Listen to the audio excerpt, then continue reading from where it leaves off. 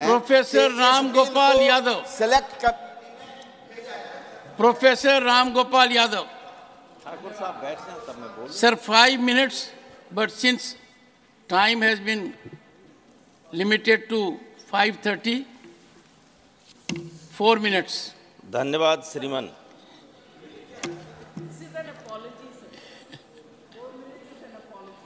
Sir Jiyaji knows the difficulty of this chair मैं केवल दो तीन बातें कहना चाहूँगा। एक तो ये कि संविधान निर्माताओं ने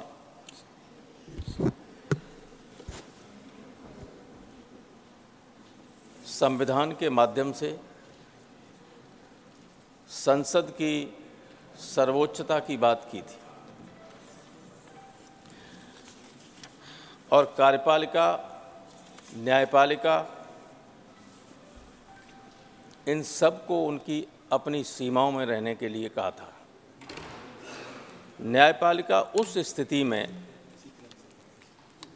जब कोई चैलेंज करे संसद से बनाए हुए कानून को तो जुडिशल रिव्यू के अधिकार का प्रयोग करके उस पर अपना फैसला दे सकती है।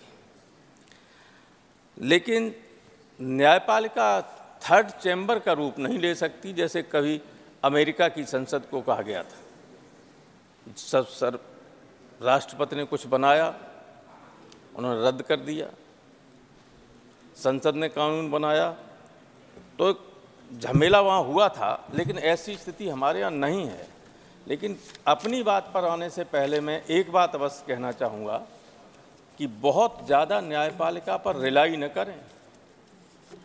माननीय राम गोपाल जी, राम गोपाल अब मुझे एक मिनट बोल तो नहीं नहीं नहीं। एक एक सेकंड। न्यायपालिका के न्यायपालिका के न्यायिक आचरण पर न्यायपालिका के खिलाफ नहीं, नहीं नहीं, नहीं नहीं, न्यायपालिका संसद के खिलाफ जा सकती तो संसद आचरण पर टिप्पणी नहीं हो सही बात नहीं कह सकता हूँ अपनी? ना वो नहीं। तो रहने दीजिए। आपने पहले मौलिक बात कही दमदार बात है। हम सब न्यायपालिका की भी इज़्ज़त करते हैं कार्यपालिका की भी करते हैं और उम्मीद करते हैं कि न्यायपालिका कार्यपालिका और विधायिका सशक्त रूप से अपने क्षेत्र में काम करेंगे।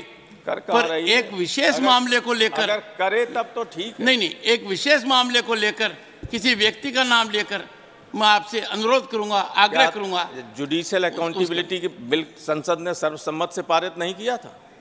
वो मौलिक मुद्दा है तो उस पर बोलिए। तो न्यायपालिका ने जनता की इच्छा का संसद का की परवाह की जब उनके ऊपर आया तो परवाह नहीं की औरों के ऊपर चाहे जा हस्तक्षेप करने लगेंगे।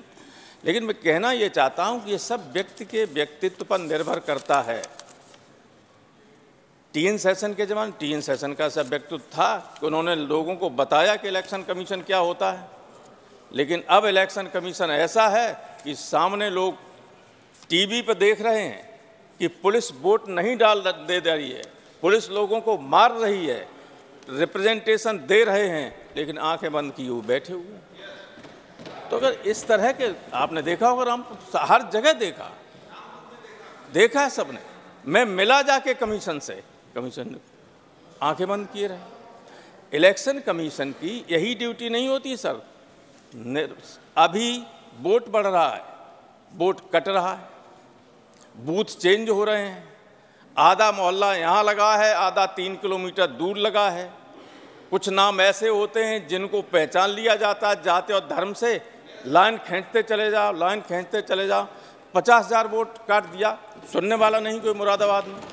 क्योंकि नाम से मुसलमान वोट पहचान लिया जाता है। जिसको चाहे उसको काट दो, कोई रिप्रेजेंटेशन नहीं। तो अगर इलेक्शन कमीशन में निष्पक्ष लोग नहीं होंगे, अगर वो बात नहीं सुनेंगे किसी किसी की तो डेमोक्रेसी क्या मतलब रह जाता है? डेमोक्रेसी का अर्थ ही ये है कि लोग अपनी इच्छा से ईमानदारी से फ्री और फेयर इलेक्शन के माध्यम से अपने प्रतिनिधियों को चुन सकें अपने ऊपर शासन करने के लिए सरकार को चुन सकें। थैंक यू लेकिन हो कहाँ रहा है ये? थैंक इसलिए मैं शासन से कहना चाहता हूँ शासन में बैठे हुए लोगों से कानून तो आप जैसा ला रहे हैं बनेगा ही वैसा। थैंक यू प्रोफेसर नीयत पे भी लोगों को संदेह है लेकिन ऐसे लोगों को नॉमिनेट करना इलेक्शन कमीशन में जिनके अपनी अंतरात्मा नाम की कोई चीज़ हो जो अन्याय न होने दें डॉक्टर सिर्फ़ आपके सारे K Lakshman doctor K Lakshman. Thank you ma'am you have been here Thank you, Chairman Sir, I have given him giving this Extra time. opportunity. To speak on this yes. amendment of this you have been uh, very kind to everyone. appointment of election commission. no you have been very kind. Everyone has Sir, appreciated I it. stand here so your sitting here has been a great challenge to me. this bill